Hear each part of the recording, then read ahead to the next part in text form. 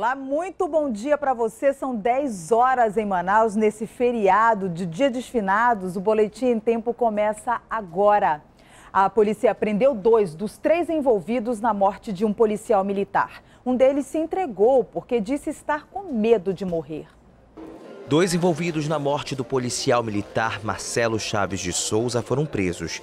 Leonardo William Melo Silva, o Léo, e Pablo e Yuri Pimentel Rocha confessaram o crime e disseram que estão arrependidos.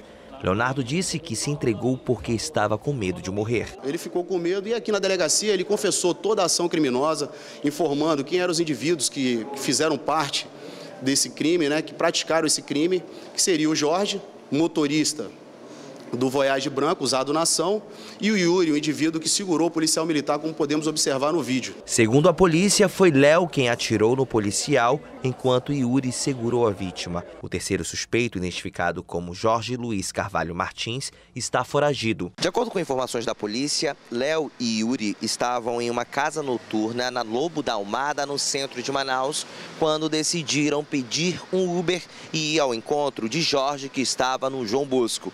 Eles assaltaram o Uber, deixaram o motorista em um bairro próximo, foram até a Cidade Nova e cometeram o latrocínio. Nós conseguimos fazer, através aqui da Delegacia de Roubos e Furto e Defraudações, doutor Adriano, agradeço ao doutor Daniel também pela, pelo empenho, o comandamento, o direcionamento dado às equipes que surtiram na, na prisão né, do que segurou o soldado Marcelo e do outro que efetuou o disparo. Os dois foram indiciados por latrocínio, roubo seguido de morte. Informações sobre o paradeiro do terceiro envolvido podem ser repassadas ao número que aparece no seu vídeo.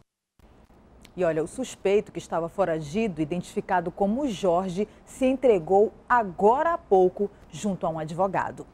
E a polícia também prendeu um colombiano apontado como um dos responsáveis pela contabilidade da organização criminosa Família do Norte. Os detalhes com Fred Rocha.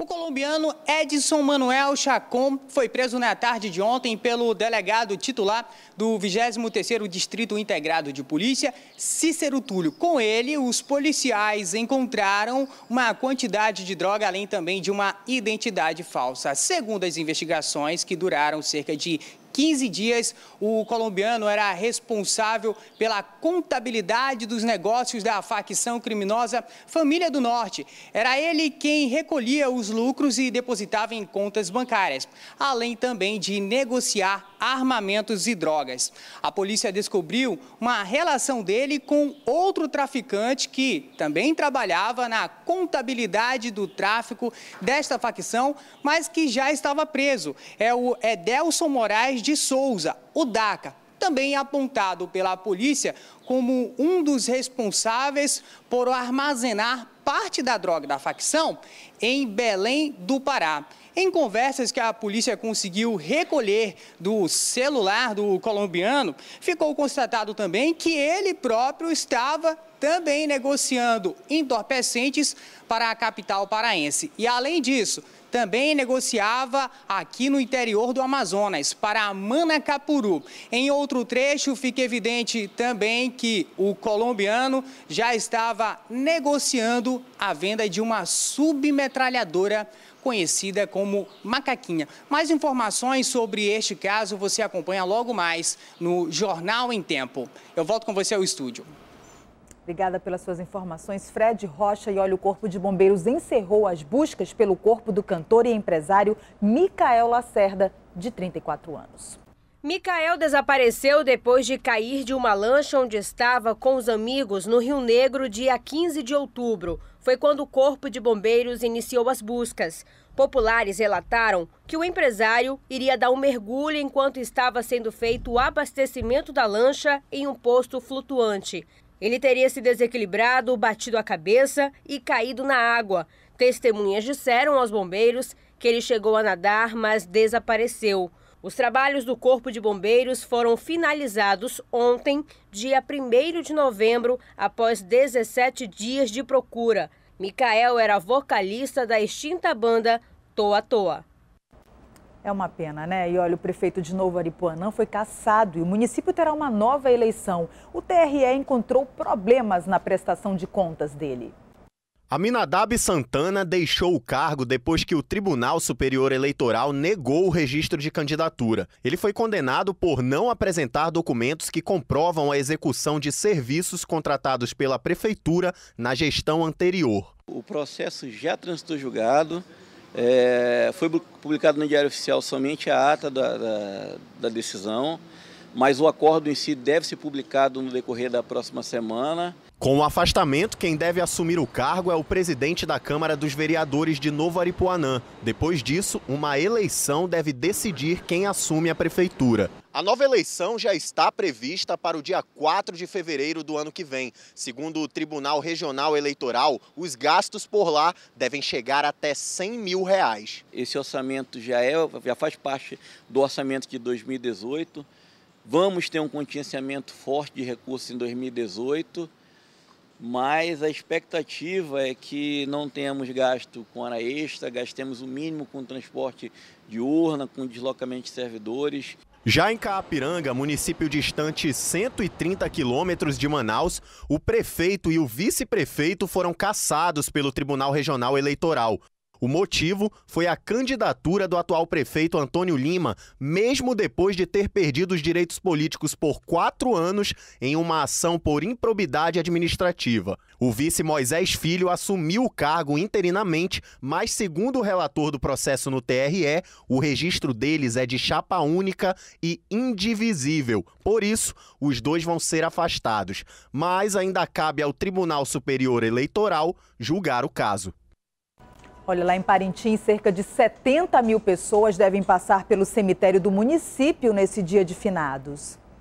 Alô Mariana, alô amigos do Boletim Tempo, nós estamos aqui no cemitério São José, no centro da cidade de Parintins, onde a programação do Dia de Finados começou com uma Santa Missa celebrada aqui na Capela da Ressurreição. É a capela onde estão sepultados os missionários do Pontifício Instituto das Missões Estrangeiras, PIME, que trabalharam aqui na prelazia, hoje Diocese de Parintins. A administração do cemitério São José faz uma estimativa de que cerca de 70 mil pessoas participem do Dia de Finados em Parintins.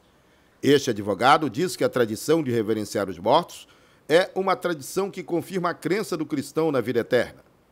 Nós cristãos que acreditamos numa outra vida, temos consciência que é bom reverenciar aqueles que se foram, né? porque todos eles deixaram um legado nessa vida e o reconhecimento disso aqui é uma passagem, que a gente está aqui emprestado por um determinado tempo, certo de que o outro momento será o mais importante, será o momento mais significativo para o cristão. Então, significa esse momento, né? A crença e a confiança na ressurreição. Esta senhora disse que todos os anos consegue ganhar um dinheiro extra com a venda de velas, água e refrigerante.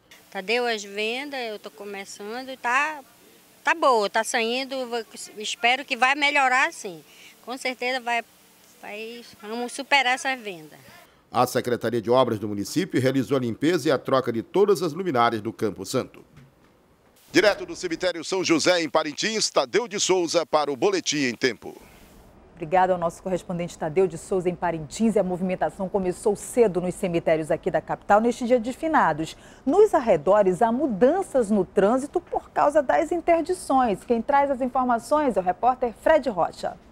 Mais de 300 agentes de trânsito estão nas ruas de Manaus para facilitar o acesso das pessoas neste dia de finados. O exemplo da mudança no trânsito foi aqui próximo do cemitério São João Batista, na rua Maceió, de quem sobe no sentido bairro-centro, tem esse desvio agora. Então, os veículos são obrigados a pegar esse desvio pela rua Domingos Lima, atrás do reservatório do Mocó e também do próprio cemitério São João Batista. Por esta rua é possível dar acesso à Avenida de Jalma Batista Batista e há um outro trecho Boulevard Álvaro Maia. Inclusive esta avenida, Boulevard Álvaro Maia, no que compreende a frente do cemitério São João Batista, no sentido de quem vai para o Santo Antônio Compensa, este sentido e este trecho foi interditado justamente para facilitar o acesso das pessoas.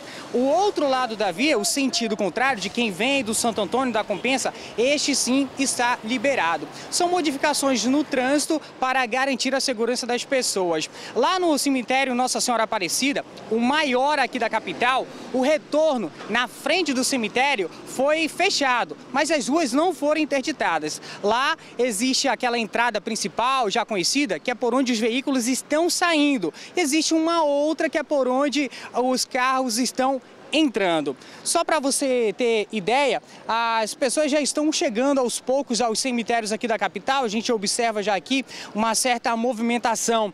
E para aqueles que encaram esse dia de finados como uma chance de ganhar um trocado, olha só, é, a expectativa é muito alta, mesmo porque os vendedores de flores, por exemplo, não tiveram lá boas vendas na preparação para o dia de finados, mas hoje eles esperam que realmente consigam aí ganhar o dinheiro desejado. Também o mesmo vale para os vendedores de velas. É, muita gente já preferiu vir pela manhã aos cemitérios aqui da capital, justamente porque o esperado é que muitas pessoas passem por esses locais locais durante todo o dia. E a gente sabe aí que é realmente um número grande de pessoas e acaba ficando né, mais difícil de se locomover. Aí o pessoal prefere vir mais cedo e já ir embora para casa também mais cedo. São esperadas 500 mil pessoas nos principais cemitérios aqui da capital e a gente vai ficar pelas ruas acompanhando para trazer as informações aí para vocês. Eu volto aí com vocês ao estúdio. Obrigada, Fred. Os cemitérios hoje ficam abertos até às 18 horas e tem uma programação de missas, também uma programação especial feita pela Igreja Católica em frente a esses cemitérios. O Boletim em Tempo Manhã termina aqui. Outras informações daqui a pouco, às 10h50, ao vivo no programa Agora e também no Jornal em Tempo, com Marcela Rosa, às 5h20 da tarde. Daqui a pouquinho, eu e o Bruno Fonseca esperamos vocês ao vivo. Até já!